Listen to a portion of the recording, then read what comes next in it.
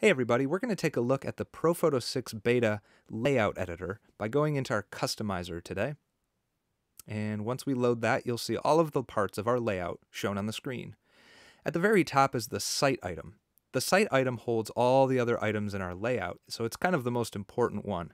It holds our, uh, our blocks, which you see here with a green strip on the edge. Uh, and inside blocks, you have rows. Rows have a gray edge along the left side and inside rows you find columns. And this row has one column in blue on the top, but down below you see a row that has three columns. And finally inside columns you'll see widgets like the images and menu widgets here. Let's start by looking at the style settings.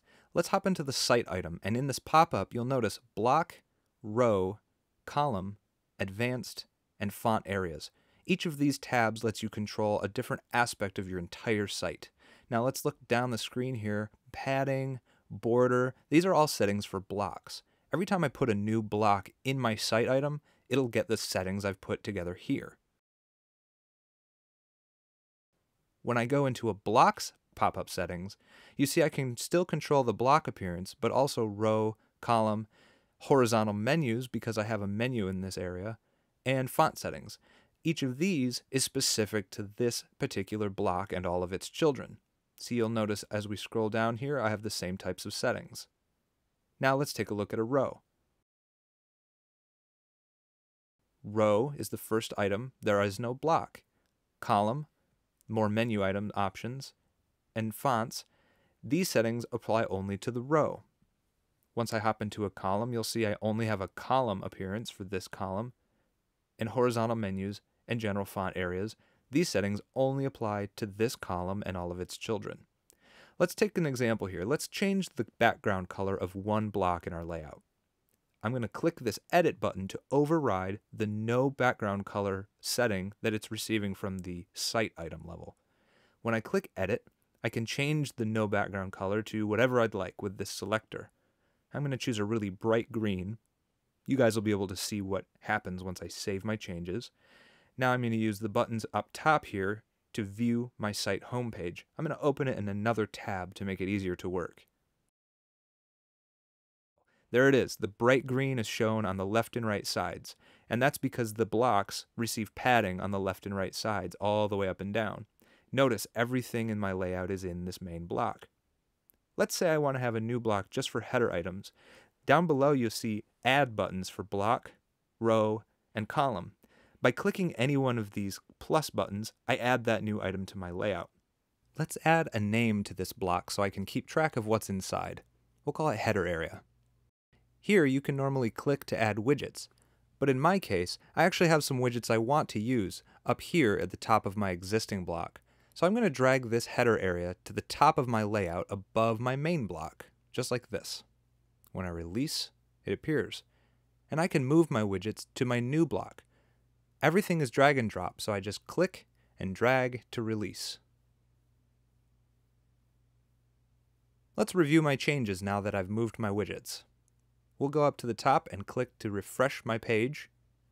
And you notice that the menu is still on the top and the image is still below. So there's not a lot different going on from before, but you'll notice that the green isn't there on the sides because this block doesn't have the green background color let's go ahead and make this header area full width.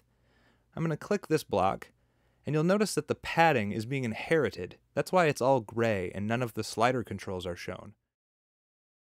But if I click the edit button for one of these, like this right padding, I can drag the default 10% padding down to zero. Save my changes, and I can click to review my new changes. And look at that. Now my menu is full width at the top of my design, and the image below is full width as well. There's no padding applied to this left and right sides like the original blocks. Now let's remove this green. I don't want this green anymore. So I'll go ahead and click to disable my override setting, save my changes, review my site, and refreshing shows the background image through the area because now there's no solid background color. Now let's show you how to delete unused items. I dragged the widgets out of this row, and I don't need it anymore. Click delete, and it's gone. Cool. Now I'd like to show you how to add a sidebar. I can click to add a column, and I can even adjust the width of my new column using these different spans. Click to add a new widget, and I'm going to add a menu widget as a demonstration. I'm going to choose the base menu I already have at the top of my site, but I'll choose to make it vertical and centered. When I refresh my site, you'll notice that this menu up top now appears along the side next to my content.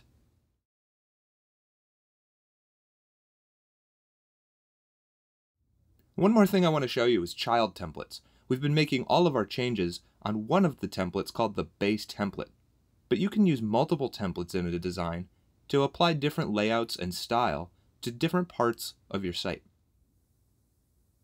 We cover templates completely in a separate video, so I'll link to that here below, and you can also search our website for lots more info about working with templates.